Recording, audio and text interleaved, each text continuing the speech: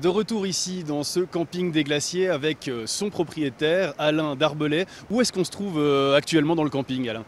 On est presque au sommet du camping, euh, euh, près de la Reuse de la Neuve.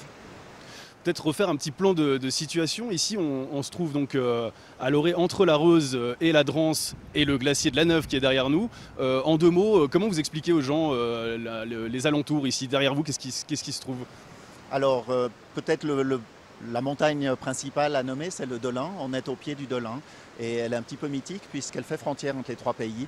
Donc, on a l'Italie là-bas avec le passage du Grand et Petit Col Ferret et la France derrière avec le bassin d'Argentière et le côté suisse ici. Vous avez vraiment des, des visiteurs qui viennent euh, aussi pour faire ce fameux tour du Mont Blanc hein, depuis ici, c'est ça? Oui, euh, on pense euh, environ 45 000 personnes font le tour du Mont Blanc. Beaucoup logent en dur, donc dans les, dans les auberges et les hôtels de la région. Mais un certain pourcentage, peut-être un 10% euh, passe aussi au camping. Pour, euh, donc ils ont des sacs plus lourds, mais certains font le tour en camping. Donc ce camping est en altitude. Qu'est-ce que, vous proposez comme activité autour à ces euh, quelques 600 euh, visiteurs que vous avez aujourd'hui? Alors, euh, une grande partie vient pour, le cadre et pour les randonnées qui sont possibles directement à partir du camping, donc ça c'est très apprécié. Et maintenant, depuis quelques années, grâce au Pass Saint-Bernard, beaucoup d'activités pour les plus jeunes, pour les familles, euh, comme les descentes en trot- trottinette, le sentier suspendu, des activités aquatiques à Champé, comme la piscine ou les activités sur le lac.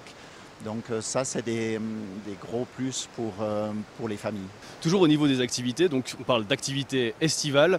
Vous, vous avez un grand panel, vous proposez quoi euh, Si moi demain je suis visiteur, je viens euh, à la réception, je dis qu'est-ce qu'il y a à faire ici? Vous me répondez? Pour peut-être plus de, de frissons, les nouvelles tyroliennes qui viennent d'être inaugurées sur les hauts de la Breya, ça c'est aussi euh, une jolie activité.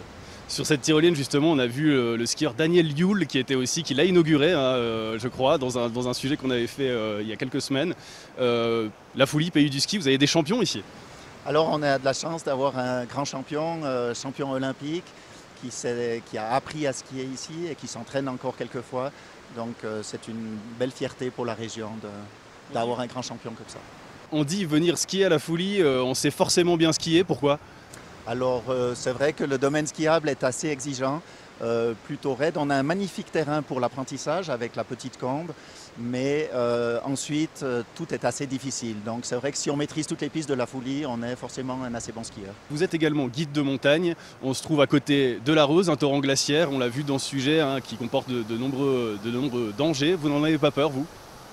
Alors en habitant à la montagne, on a l'habitude euh, de vivre avec certains dangers, euh, mais ici la situation a bien évolué puisque à l'époque le terrain de camping était au même niveau que la Reuse, tandis que maintenant grâce à l'extraction du matériel pour de la construction, euh, le, niveau est bien abaissé, environ 5 mètres plus bas qu'à l'époque. Vous êtes propriétaire depuis 10 ans de ce camping. Vous avez fait certains aménagements, ils sont même antérieurs à ça, mais il y a des aménagements qui ont été faits pour contrer ces risques naturels. Alors, c'est pas vraiment nous directement. À l'époque, on, posait des gabions à la main, c'est-à-dire qu'on remplissait des, filets de pierre pour se protéger. Maintenant, c'est la commune en fait hum, qui autorise l'extraction de ce matériel, et c'est vraiment une entreprise, une gravière qui récupère ce matériel. Donc, c'est principalement ça qui a été fait. Et puis, on a aussi- on bénéficie aussi du retrait du glacier, puisque on voit sur les hauts euh, une grande cuvette s'est formée.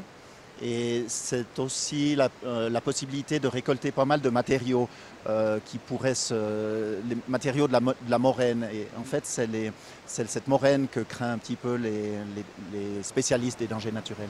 Au niveau de vos visiteurs maintenant, vous, vous émettez des recommandations particulières quand ils, viennent ici? Au niveau des randonnées, au niveau des, des promenades autour, il faut euh, prendre des précautions particulières? Vous, vous le dites à, à vos clients, ça? Alors, pas vraiment con- concernant les dangers naturels, mais c'est les, proté- les- les recommandations d'usage euh, quand on part en montagne, c'est-à-dire d'être bien équipé, euh, si possible, de- quand on est seul, de dire où c'est qu'on est allé, ce- genre de recommandations-là. Vous allez la transmettre, ce- cette passion de, de la montagne à votre tour. Vous aimeriez transmettre aussi ce camping. C'est un, rêve pour vous euh, de voir la troisième génération peut-être le reprendre un jour. Bien sûr que ça serait bien que, que ce camping perdure, puisque bah, on a eu la chance d'avoir avec nos parents des, des, pionniers qui ont eu euh, cet esprit d'aventure de créer ce camping. Donc euh, ben, à nous d'essayer de faire perdurer le plus longtemps possible. En tout cas, euh, merci Alain Darbelet pour ces réponses, pour vos explications. Merci à votre maman aussi pour l'accueil.